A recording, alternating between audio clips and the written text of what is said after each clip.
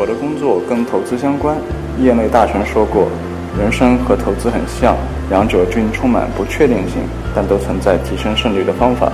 在我看来，这其中最关键的莫过于建立适合自己的内部积分卡，忘记世俗对成功的定义。结果永远不可控，但持之以恒的努力，复利增长之后，最终起码会给我们一个相对合理的 lower limit。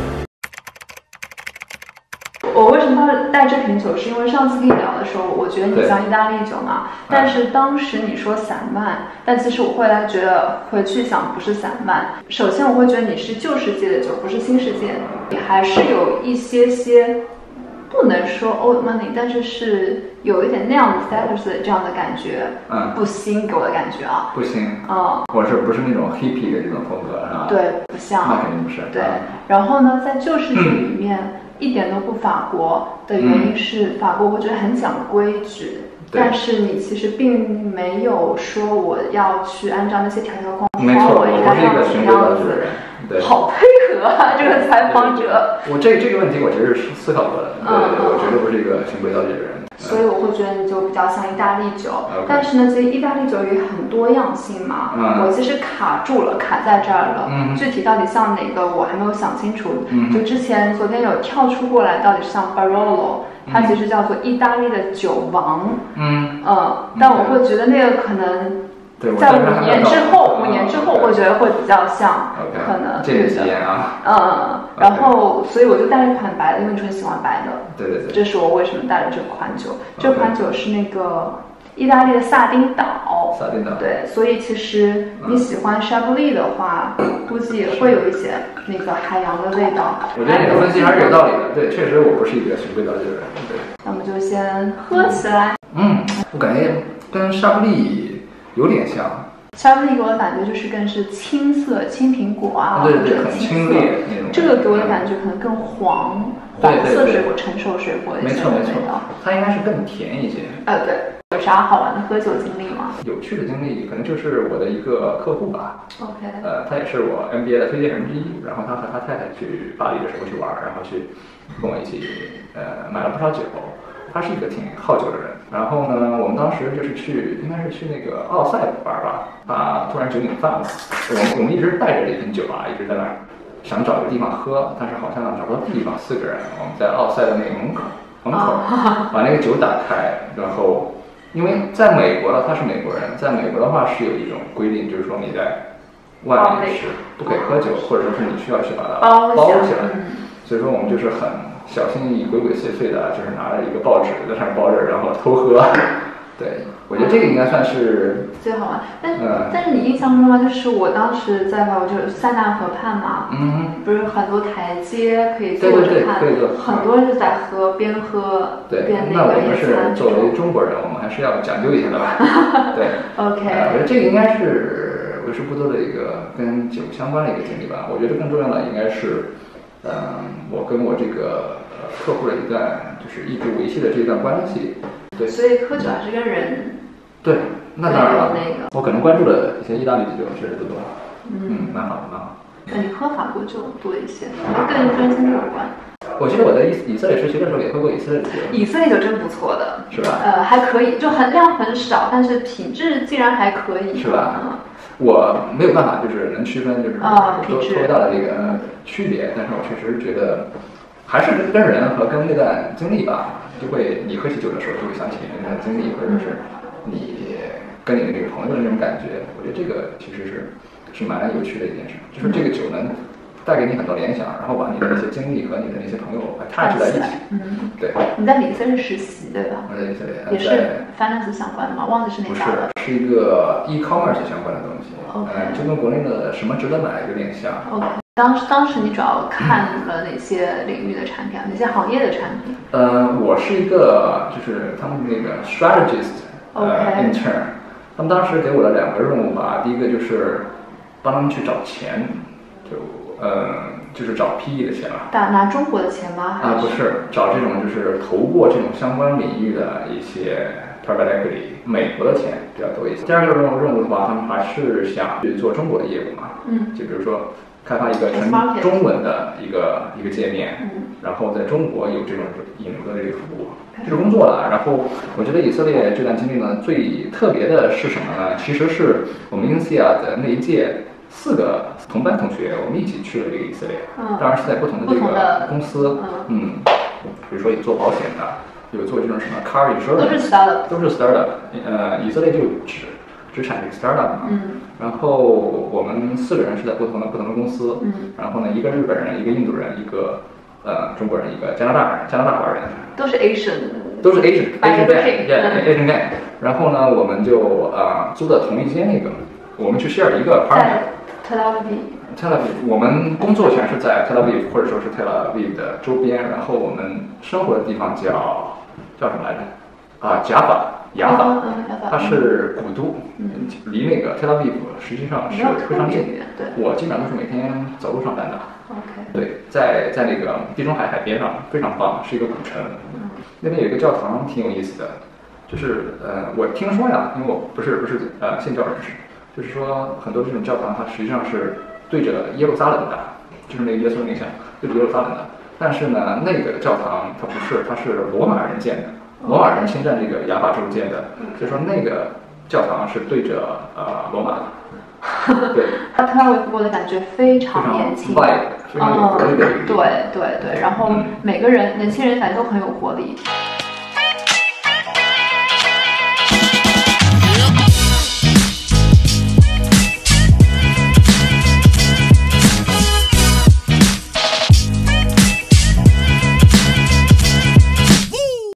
棒，为什么？就是一个你刚刚说的这种，呃，vibe，对的，很年轻。然后呢，另外的话就是，呃，里面的人全都是在这种做什么创业的事情，对创业的事情。就比如说我们去 take a cab，然后我们去一个 bar，然后这些呃出租车司司机啊，他们都会给你一张名片，说啊，我除了这个我开开出租车，嗯我实际上还有其他的 business，就比如说自己有一个 family restaurant，对，他做其他的这种兼职的服务，在他们看来，可能更多的都都是那种 startup 这种性质的事情。这个其实对这个其实给我的一个触动也是蛮大的。可能我现在也是在做这种。startup 的事情，但是 not necessarily 就是 change the world 或者是呃 change the industry，这个是我非常喜欢的地方。但当时还给我另外一个触动是。呃，我一圈下来，我们好像待了一周还是天，我不大记得了。然后我一圈下来的很大的印象就是这个民族有深深的不安全感，这是为什么他们想要挣钱，以及我的结论是挣快钱。其实他们很多 startup 就其实做掉就卖掉，做掉就卖掉，很少有百年老店那种概念嘛。但是当时我们我们去才去了一家，嗯是做。嗯，那种 security data security 的，嗯然后他做了好多年。那个 founder 的目标也是说，我要把公司一直做着。那是当时很触动我，我会觉得他很不一样。OK，那确实是，可能我认识的这些 startup 就 weight 会比较大一些，但是最后也是被 Google 收购了嘛。那反正 anyway，我觉得这个地方还是就是 Tel Aviv 这个地方确实跟它的名字很很契合。你知道 Tel Aviv 是什么意思吗？Tela 是就是古老的意思，Viv 是新的意思，就是说这个地方呢，实际上是在一个古老、古老的一个呃，算是一个古老的城市上面又重新盖了一层，是这个意思。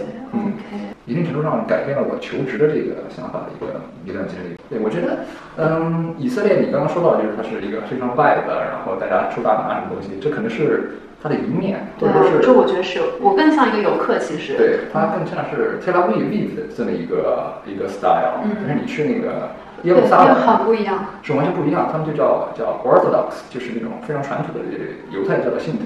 嗯，怎么传统呢？就是首先会生很多孩子，然后很多是多少？很多就是七八个都会很正常。另外的话就是我们夏天去的嘛，这种所谓的 Orthodox。他是在着装上面会有要求的，呃，黑色的礼帽、黑色的西装，然后胡子是不可以剃的，然后两边的这个头发是会这么卷卷卷卷卷下来的，然后那个 hippa 你知道吗？这是一个小帽子。实际上为什么会有这个东西呢？印度教我我也是听说的呀，就是犹太教之前呢，他们的帽子也是很大的，然后呢，他们就代表什么意思？就是会有一个东西永远会高于你，高于一切，让你有有这种敬畏的意思。然后，呃，犹太教的人后来不是去了欧洲嘛？嗯。欧洲的话，可能就需要你去脱帽了。嗯。对，但是呢，由于他们这种信仰，他们觉得就是脱帽，虽然是尊重了当地的习俗，但是没有尊重我自己本民族的这种信仰。所以说他们就把这个帽子变成一个很小的头，对吧？啊，到这儿来。你在当地有觉得，比方说长期在那边工作的华人多吗？嗯，很少，完全没有接触过。完全没有接触，完全没有接触过，也没有特别多的这种中餐馆。嗯，对，所以说这么看的话，应该华人不是特别多。可能我觉得这一方面是跟确实那边的工作机会，呃，比较少有关系吧。确实是一个比较小的一个地方，七百万人口，如果说我没有记错的话。整个国家。嗯，应该是。嗯。另外一方面，可能跟国内的这种媒体的对他的这个宣传也是有一些关系。我我说的不是那种抹黑的宣传啊，可能确实我们听到的关于以色列就是。加沙地带又跟那个，呃，又跟那个巴勒斯坦开火了，然后又有什么袭击，对吧？这种负面消息，实际上我们去的时候还是还是这个地方是非常安全的，然后人也是非常热情，嗯，呃，英语这种普及普及率确实是比法国那个地方要好太多。所以说我们从法国这个这个地方去到以色列的时候是，是发现啊，非常非常棒，交流起来完全没有什么障碍。你会觉得就是对你来说什么是最重要的？我觉得对我而言的话，我的。回答应该是，呃，开心，也就是每天进步的那个那个日本的词语。哇哦！就是为什么我会这么说呢？嗯，不管是呃做投资，不管是在家庭，不管是做自己的 business，我觉得最重要的就是嗯每天进步的这么一个状态，每天进步一点点。我做自己的这种纵向的比较，我我非常嗯在乎的就是我有一个 internal 的一个 scorecard。我可以不跟我的这种 MBA 的那些非常优秀的这些 peers 去比，但是我一定要比我昨天会有一些成长。对我而言的话，可能就是我今天哪怕是学到了一个新的单词，我哪怕是嗯遇到了一个非常好的一个一个人，看到了一个非常好的天，或者说是我在工作上、生活上有另外一些我之前没有的感悟，或者说是我改变了我的之前的一些缺点，嗯，这个对我而言是非常重要的，因为它能够帮助我去成长，帮助我变成更好的人，帮助我变成一个更好的企业家。可能我现在而言，确实每天只是进步了一点点，但是复利之后，十年之后，我可能比我十年之前的自己会高出很多。So in reality，你真的是会每天去想我今天又做了一些什么事情吗？嗯，我会想啊，就比如说我总结嘛，就比如说我今天，或者你总结形式会做记录吗？还是脑子里想？我不会做记录，做记录的话就是太可能太流程化了。嗯，我会想就是今天确实有哪些比较重要的事情发生了，就比如说我刚刚见了一个我非常一直非常想见的这个 manager。他确实是和我之前对他的认知是完全一致的，嗯，也让我觉得我是比较放心去帮他去推荐给海外的这些机构。我觉得这个也就是一个成长。可能从外在来看的话，确实 MBA 之后这个 pay 是这样的，然后呢自己创业是这样的，这是 external 的一个 scorecard，是别人衡量你的价值。这个可能在我看来就是像股票每日的价值波动，但是实际上你的 internal card 就是你的内在的盈利。你可能自己的这个公司，这个基本面是越来越扎实，OK，可能最后你就会实现，OK，一个更好的自己。嗯，对，这个对我而言是蛮重要的。我我我有惊讶到，我有惊讶到。为什么？因为可能是正好前几天跟别人跟朋友聊到，就是很多人他不 reflect，嗯，就是过一天是一天，过一天是一天，这样子的人其实真的不在少数。然后说实话，我会觉得我自己是在申请 MBA 之前，嗯，我是比较少做这样子的 reflect，就是嗯比较哎过一天是一天。但是因为要申请，然后写那些 essays，然后想很多事情，才开始有这个习惯，然后才开始体验到它的那个价值。我觉得能量挺大的。说实话，你不要笑我，虽然说有点官方，有点虚，但真的 是吧？真的，对，嗯，反正就是你自己想要成为什么样的一个人，然后你怎么样去达到它嘛？那可能最终做做一个分解，就是分解到每天的那些。日常的这些工作当中，嗯，我觉得就是 Remember Who You Are 吧，就是张光给我推荐这本书，觉得这个这个挺重要的。它包括了就是怎么没给我推荐啊？可惜了。呃，就是你为什么要有这种 internal score scorecard？然后为什么你不要去呃人云亦云，去 stay away from the herd mentality？这个我觉得不管是人生当中的做选择还是做投资，这个都是非常重要的一个事情。Remember Who You Are？对，就是。因为说到了这样子，我就想到了，就是你会觉得对于你来说，就是呃，so far 最 inspire 你的人，为为什么就呃，我会是一个比较，我个人觉得啊，是一个逆商比较高的一个人，就是可能跟我呃从小跟我奶奶生活在一起有关系的。我奶奶就是这样一个，嗯，受过受过很多的苦，但是能够在这种呃艰难的这个艰难困苦之下，还能够保持一个乐观心态的这么一个人。嗯，对我觉得本质上吧，这个应该是最 inspire 我的我的一个人吧。OK，嗯，我其实特别想问，但是可能比较 personal，嗯就是关于你奶奶的那些苦难的事情。哦，没问题能说啊吗。对我奶奶就就是确实受过很多苦嘛，也包括少年丧父、中年丧父还有晚晚年丧子都经历过。然后嗯，包括可能就是因为咱们中国确实是那个那个环境嘛，确实生活方面不会不会特别好，也因为这些受受过很多的苦，但是他能够保持乐观。他能够，他能够就是养活七个孩子。我可以讲一个故事。对，我特别想听他一个乐观的故事。呃，我是我们家都是农村的，然后呢，你听听没听过有一个故事，就是 clip for house，就是美国的一个人用一个那个什么回形针换一个东西，换一个东西，换一个东西，最后换到那个 house。对 OK 我奶奶那个故事呢，可能跟这个有点像啊，但是没有这么 magical。就是他会收，他跟我爷爷会收集那种稻草，嗯，稻草就是比如说田里边儿，甘然后草干草堆那种啊，对对对对对，人收集稻草，但是他不仅收集自己家里边儿那个田里边儿的，还去人家那些其他那些地里边儿，人家不要的这些稻草。因为一般的烧掉，最后是吗？对对对，嗯他们那会儿应该是应该是呃应该是八十年代吧，我记得。然后收集这个稻草干什么呢？就是当时烧砖头呢，可能没有现在这么这些砖厂什么的，可能每个村子都有一个窑窑洞，那他们呢会要这些草，然后去作为这个燃料，然后烧制出这些砖头来。我和我奶奶、呃奶奶和爷爷做的事儿就是收集很多很多这种稻草，然后去换这个砖头。嗯，但是你可以想象嘛，这个能换多少能换多少？但是换了十年之后，还真的就是能把这房子给盖起来了。这个我觉得还是一个比较神奇的事情，这个就是非常 resilient 的一个事情。对对对然后另外一方面，可能我现在想起来也是一个开心的事情，就比如说我就是每天这么一点点，这么一点点，但是十年下来，变成了一个房子了。对，对，这个是他给我讲的过程当中呃比较印象深刻的一个话。